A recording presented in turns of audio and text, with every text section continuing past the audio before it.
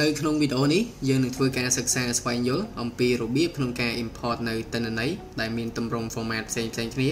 ចូលទៅក្នុងកម្មវិធី Noiva សម្រាប់ធ្វើការវាស់វែង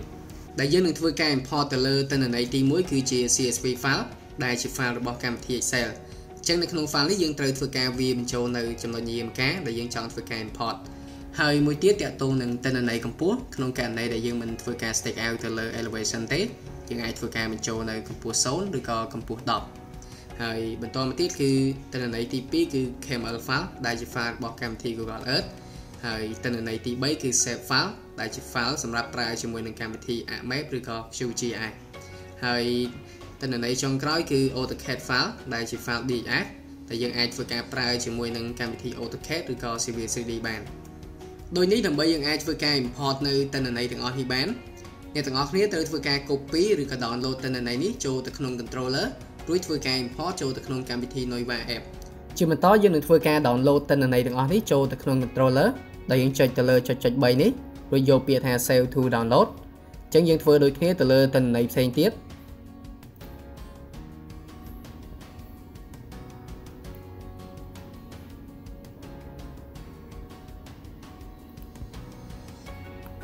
បន្ទាប់ពីធ្វើការ save នៅទិន្នន័យរួចហើយទិន្នន័យទាំងអស់នេះនឹងចូលទៅកាន់ internal storage ចូលទៅក្នុង download ហើយចូលទៅក្នុង folder Telegram នេះបាទជាបន្តយើងត្រូវធ្វើការដំណើរការនៅកម្មវិធី Noiva អញ្ចឹងនៅក្នុងកម្មវិធី Noiva នេះគឺយើងត្រូវចុចទៅកាន់ពាក្យថា import ហើយយើងនឹងធ្វើការ import ទៅលើ CSV file ដែលជា file Excel មុនដែលយើងត្រូវចុចទៅកាន់ coordinate import ខាងលើនេះហើយ type គឺយើងនឹងរើសយក point target point គឺយើងអាចធ្វើការ import ចូលទៅកាន់ កន្លែង point database ដែលយើងមានជា control point stack out point ជាមួយនឹង survey point អញ្ចឹងក្នុងករណីនេះយើងនឹងធ្វើការ import ចូលទៅក្នុង stack out point ហើយ data format យើងត្រូវធ្វើការរើសឲ្យត្រូវជាមួយនឹង format ដែលយើងបានរៀបចំដែល format ដែលយើងបានរៀបចំគឺ name er n hash ខាងក្រោមនេះបាទបន្តមកទៀតគឺ column header គឺយើងត្រូវធ្វើការ text ដោយសារយើងមាន field ដែលបង្ហាញអំពី column នីមួយៗរួចចុចទៅលើពាក្យថា file path ចូលទៅកាន់ download Telegram ហើយធ្វើការរើស file CSV ដែលយើងបាន download មុននេះ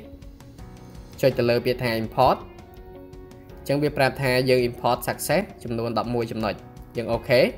ហើយយើងធ្វើការត្រឡប់មកក្រោយចុចទៅកាន់ point database ចូលទៅកាន់ staking point យើងនឹងឃើញចំណុចទាំងអស់នោះចូលមកក្នុងកន្លែង staking នេះជាបន្តយើងត្រូវចុចទៅកាន់ import ម្ដងទៀតរួចចុចទៅកាន់ other import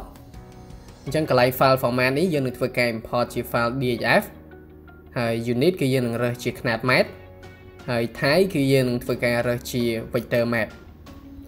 មានន័យថាយើងនឹងយកវាធ្វើជា background map ដែលយើងមិនធ្វើការឲ្យវា import ជា point នោះទេអញ្ចឹងនៅក្នុងករណីដែលយើងធ្វើការរើសយកជា point គឺវានឹងធ្វើការ import ចំណុចនោះចូលទៅក្នុង point database ទៅជាចំណុចនិយាមការមួយចំណុចមួយចំណុចវិញជាបន្តយើងត្រូវចុចទៅលើ file path ចុចទៅលើពាក្យថា download Telegram យើងនឹងឃើញ file point survey cat df នេះចុចទៅលើពាក្យថា import អញ្ចឹងវាប្រាប់ថា import success 11 11ចំណុចដូចគ្នាយើងអូខេមកបន្តមកទៀតយើងអាចធ្វើការថយទៅក្រោយចុចទៅកាន់ survey ចូលទៅកាន់ survey point អញ្ចឹងកន្លែង map នេះគឺយើងអាចធ្វើការរើសយកជា vector map គឺយើងនឹងឃើញមាន file point survey cat នេះជាយើងអាចចុចទៅលើមកយើងនឹងឃើញចំណុចនេះ load ចូលមកជាបន្តយើងនឹងធ្វើការ import ជាទិន្នន័យ save file ដោយកន្លែង file format យើងនឹងរើសយកជា SAP ហើយ type គឺយើងអាចធ្វើការ import បានតែចំណុចទេហើយ target point យើងអាចធ្វើការ import ចូល control point staking point ឬក៏ survey point អញ្ចឹងក្នុងករណីនេះយើងនឹងធ្វើការ import ចូលទៅកាន់ survey point ហើយចុចទៅលើពាក្យថា file path ចុចទៅកាន់ download Telegram យើងនឹងឃើញមាន point server SHP នេះយើងរើសរួចចុចទៅលើពាក្យថា import បន្ទាប់ពីធ្វើការ import ហើយយើងចុច OK រួចធ្វើការពិនិត្យមើលនៅចំណុចនេះដែលយើងចូលទៅកាន់ point database ម្ដងទៀតហើយយើងចុចមក survey point យើងនឹងឃើញមានចំណុចដែលយើងបានធ្វើការ import នេះជាចុងក្រោយយើងនឹងធ្វើការ import ជា file KML ឬក៏ file KMZ ដែលជា file របស់កម្មវិធី Google Earth ហើយ type គឺយើងនឹងរើសយកជា vector map ដែរ ហើយយើងនឹងចុចរើសនៅ file នេះដែលចុចទៅលើពាក្យថា file path ចុចទៅកាន់ download Telegram យើងនឹងឃើញមាន file KML នេះយើងចុចរើសរួចចុចទៅលើពាក្យថា import បន្តមកទៀតយើងនឹងធ្វើការពិនិត្យមើលតនន័យនេះដែលយើងចុចថយទៅក្រោយចូលទៅកាន់ survey survey ខាងលើរួចចុចទៅលើកន្លែង map នេះ